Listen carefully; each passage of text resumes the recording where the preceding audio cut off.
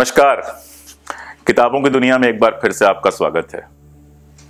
हम कोशिश करते हैं कि हफ़्ते में कम से कम एक किताब पर ज़रूर बातचीत हो, ताकि वो पाठक जो इतिहास को व्हाट्सएप से नहीं, किताबों से जानना चाहते हैं, वो पाठक जो दुनिया की बेहतरीन किताबों के बारे में जानना चाहते हैं, वो पाठक जिनके घरों में अभी भी किताबों के लिए जगह है, उनको कुछ अच्छी किताबें सजेस्ट किया जा सके।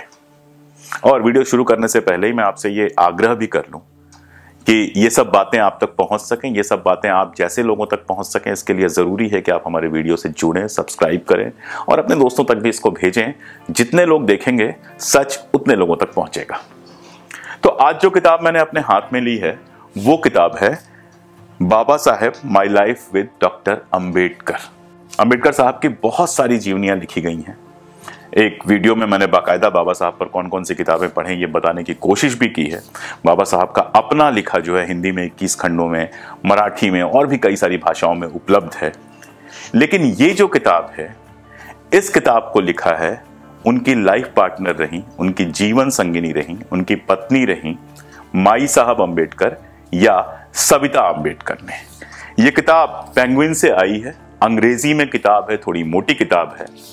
और किसी की ज़िंदगी को जानने का एक बहुत खूबसूरत रास्ता हो सकता है कि जो उसका लाइफ पार्टनर है, जिसने उसके साथ ज़िंदगी गुजारी है, जिस, जो उनके बहुत करीब रहा है, वो उनकी ज़िंदगी को कैसे देखता है? कई बार हम दुनिया के नज़रों में बहुत महान होते हैं, लेकिन अपने लाइफ पार्टनर्स की नज़रों में उतने महान नहीं होते हैं। कई बार लोगों का अंदर और बाहर का बिहेवियर अलग अलग होता है।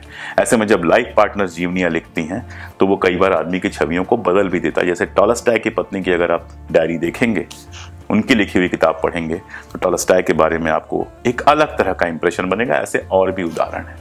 लेकिन माई साहब अंबेडकर की यह किताब पढ़ते हुए कोई छवि भंजित नहीं होती है, बल्कि बाबा साहब अंबेडकर के जीवन की कुछ अंदरूनी सच्चाइयाँ हमें पता चलती हैं, उनके संघर्षों के बारे में पता चलता है, उन प्रक्रियाओं के बारे में पता चलता है, जिससे वो जीवन के आखिरी दौर में गुजर रहे थे।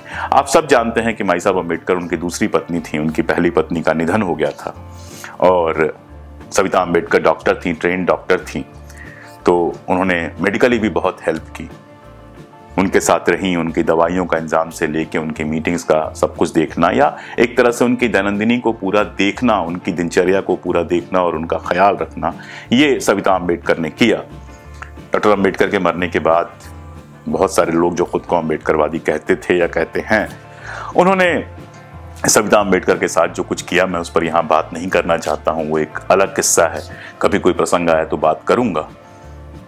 लेकिन ये किताब अंबेडकर को वहाँ से देखने में मदद करती है, जहाँ से अक्सर नहीं देखा जा सकता, सिर्फ़ वही देख सकता है, जो उतना करीब रहा हो।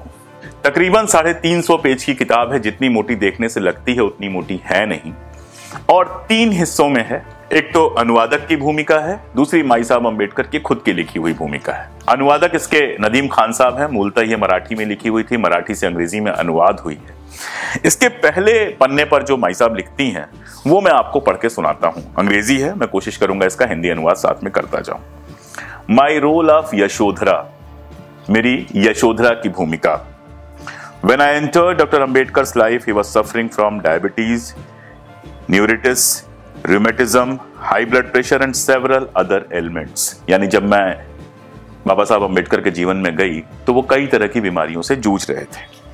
Along with that, he had had his first heart attack in 1953 इसके साथ उन्नीस में उनको पहला हार्ट अटैक भी हुआ था He somehow came out of it, but his health had turned so fragile that working with support was a far cry.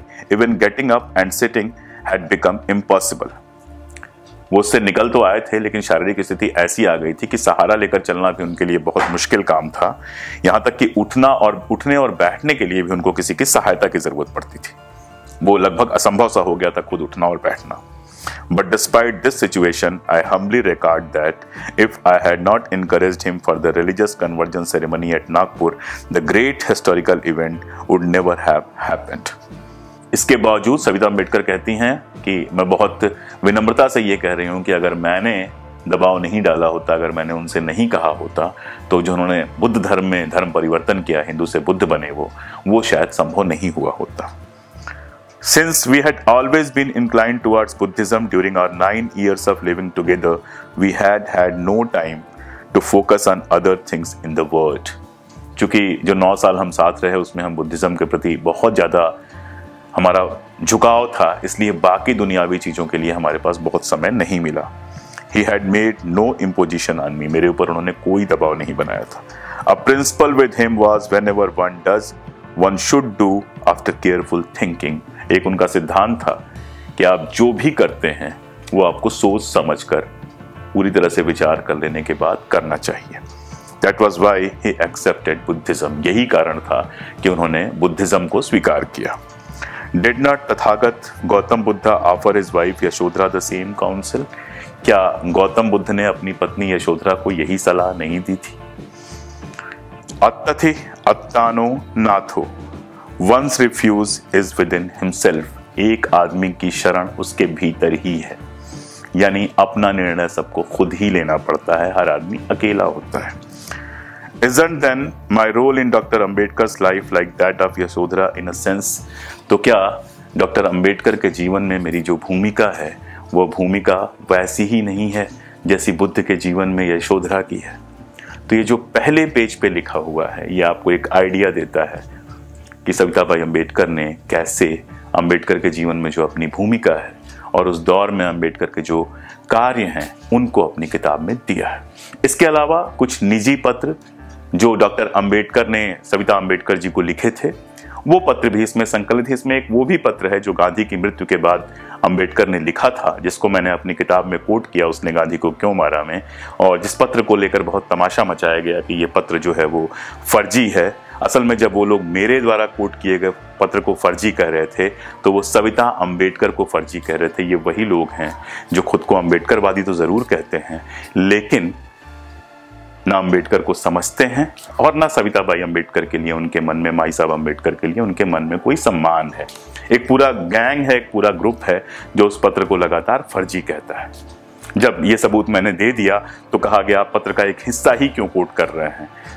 शायद उन्होंने कभी इतिहास पढ़ा नहीं है, शायद रिसर्च वर्क से उनका कहीं कोई साबका है नहीं, शायद उनकी यह आदत नहीं है कि जब रेफरेंस दिया जाए तो पाठक का यह कर्तव्य बनता है कि रेफरेंस पे जाके पूरा पढ़ ले, कोई भी लेखक किसी को भी कोट करते हुए पूरी किताब नहीं देता है, पूरा चैप्टर नहीं देता है, वो उसमें से एक हिस्सा देता है, जो मैंने किया था। और ये बताने के लिए किया था कि हर मनुष्य की अपनी कमजोरियाँ होती हैं। अंबेडकर और गांधी के बीच में जो वैचारिक विभेद थे, उसका एक ये प्रतिफल था। उन्होंने ये ध्यान नहीं दिया कि उसी किताब में जाति व्यवस्था की बात करते हुए मैंने अंबेडकर को गांधी से बेहतर कहा है। खैर, मैं अपनी बात तो कभी भी कर लूँगा। तो मैं आज आपको सविता अंबेडकर की लिखी हुई, डॉक्टर अंबेडकर की ये जीवनी रिकमेंड कर रहा हूँ। अगर आप डॉक्टर अंबेडकर को उनकी पत्नी की निगाह से देखना, समझना और जानना चाहते हैं तो ये जीवनी आपकी बहुत मदद करेगी। जैसे पहला पन्ना मैंने पढ़ा, वैसे ही आखिरी पन्ना भी इस किताब का मैं पढ़ना चाहता हूँ। मैं चाहता हूँ इसको आप सुने और देखें सविता अंबेडकर किस संवेदनशीलता के साथ डॉक्टर अंबेडकर के जीवन को दर्ज करती हैं। आखिरी पन्ने पे लिखा है, doctor Ambedkar built strongly on their feet and bring no fulfilment the dream of their great leader of making his India Buddha inclined as Tathagata Buddha has said be your own light अपदीपो भव।